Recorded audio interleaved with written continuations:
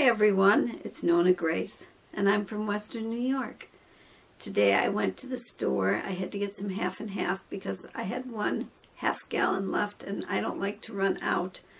So I went to the store and got some half and half and I bought dog food and I went then I went to Tuscany's because I hadn't been there in a long time and I needed some Romano cheese. So I bought uh, five blocks of Romano cheese so I won't have to go back for a while. And um, I buy a lot. I bought six half and halves. So I buy a lot so I don't have to go back in a long time. And the date on that is really long. Um, let's see. I'm going to put a little clip in right now. I brought my notebook in again because mm-hmm. um, I do do better with it. And mm -hmm. Gloria is right. I do forget things, and this helps me stay on track. Um, I'm going to put a little clip in about dehydrating salami. So if you've ever wanted to make jerky, but don't dare like me, I don't dare do the raw meat. So I, I've been doing the, the salami, and the kids love it. In fact, when they come over, they always ask if I've got any made because they want it.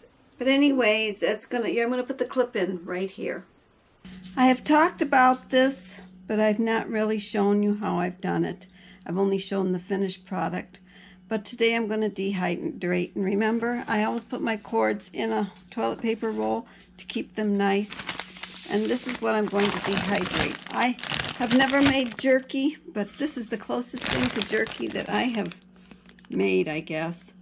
And it's just that um, salami that you buy, and it's in these little rounds. As you can see, they're little rounds and I put them in the dehydrator and the kids just go crazy over them. And we like them too and they're like eating um, pepperoni. If you like pepperoni you're gonna really love these. If you thought you didn't like salami well you will now. So this is what I'm going to put in the dehydrator. I'll show you when I get it in the dehydrator. Okay they're in the dehydrator and I have believe it or not I count as I put things on I have 24 pieces on each level and I have four levels. One actually has one more because I had a piece left over so one one tray has 25 but I do I count as I go. I don't know if you count as you go but see how fatty they look when they're when they're not um, dehydrated? Now they will dehydrate. I usually dehydrate them for about six hours and then I put them between paper towels and in a pen, I use a penny saver and paper towels to suck up the grease because there'll be a lot of grease. They'll be shiny when they come out. And this way they feel dry when you go to eat them. And then I put them in a candy dish. And instead of candy in the candy dish, we have salami rounds. And when my kids come, they always say, do you have any salami rounds? Because I dehydrate these quite frequently. So these are going to go in and I'm going to set it if you can see on my um, thing it shows where um, meats and jerky go at the highest temperature 55 155 degrees Fahrenheit or 68 degrees Celsius. So I will set my dial to that and then I will put it on top and in six hours we'll have our little rounds of jerky that are they're chewy, a little chewy, and they're they're really good. They taste like pepperoni. I like pepperoni a whole lot better more than salami, but this has been the best discovery. I don't know if you like salami or not as salami, but if you don't, you'll love it as pepperoni. Well, it's time to take it out. So we're gonna take off the cover and as you can see it is real shiny. I'm gonna put it in this penny saver. What I do is I get paper towels. I use the penny saver as an extra absorbent. Oh there's a coloring picture from Easter. Oh my. Oh well. It's not gonna be colored. I lay the paper towels down in the newspaper or whatever type of paper you have. I'm gonna take that one off only because it's long then I take these with my clean hands, Because everybody always worries. Are her fingers clean? Oh, yes, they are. And then you just lay them on there. Because it's really gre whoa, greasy. See the see the shine? The grease that's on these?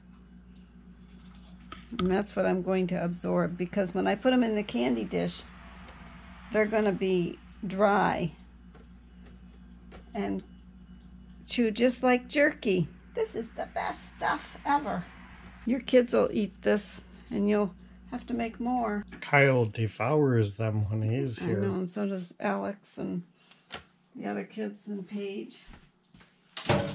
Brianna. I don't know if Abby eats them or not. I don't know.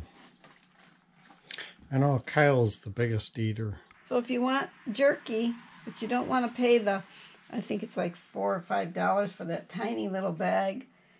I haven't tried to do real jerky. I'm afraid to do it actually, to be honest. Where you start with the the raw meat. I think we could do it oh, Well, easy we enough. could, but I've been afraid to even try, so I haven't. This was about as close as I've gotten to jerky. Oh, somebody's stomach is growling. It's not mine. Not mine. I think it was yours. You think so? Yep. It hasn't growled in a long time. You know, I don't know if any of you have noticed your stomachs stop growling. Maybe. Mm-hmm. I don't know. See all the grease that's coming off of these? Then I pile some more on.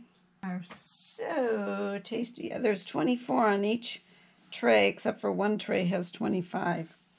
I counted them as I was doing it. I always count things as I do it. I don't know why, but I do. Jake, you're walking around and everybody's going to hear your little toes. And he didn't go in his house because I didn't get the big camera out.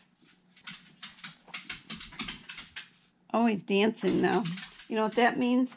He means he wants to go potty. Well, you're going to have to wait, little boy. Itty bitty teeny piece. You know what's going to happen to that? I ate it. Uh oh. It's gone. There's Jake You got to wait. waiting patiently. Sort of. He was dancing. When he does that dancing feet, means he wants to go out. Okay, and then I add another thing of paper towels on top. And then I close it up.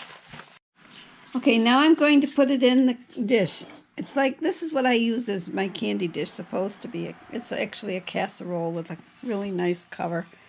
This was my mom's, and this is what I use.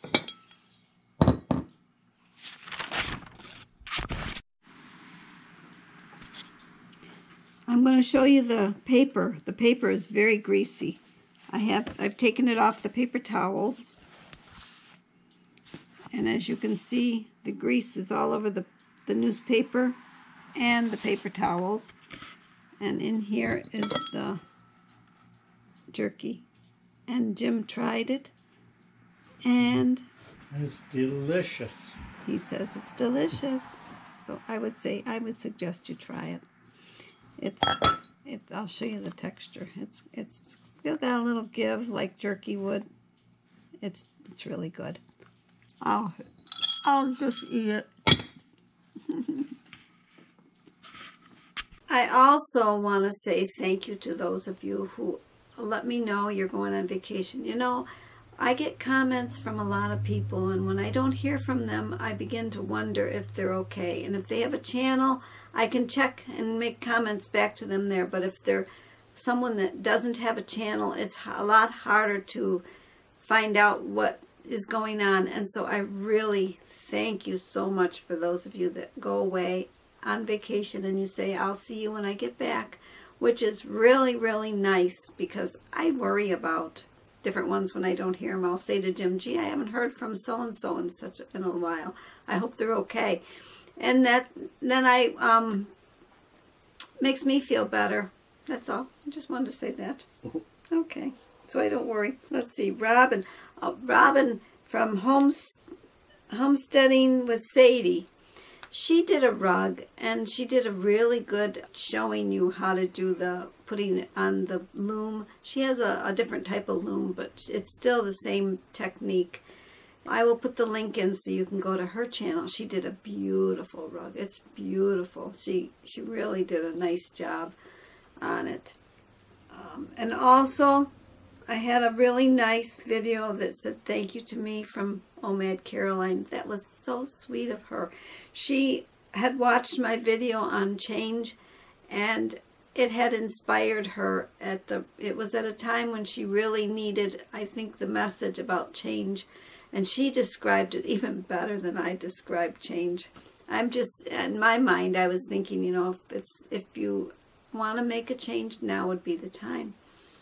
And she's going to go to become a personal trainer, which is wonderful because she's really into health health and fitness. And so um, I will put her link in there also so you can find OMAD Caroline. And if you'd like to watch her and get inspired by her because she's very energetic and, a, and an inspiring kind of person. I guess that's it for today. You're yawning. I'm putting Jim to sleep. Oh no. I hope I didn't put you to sleep. So we'll we'll talk to you all again tomorrow. Have a great night. Bye bye.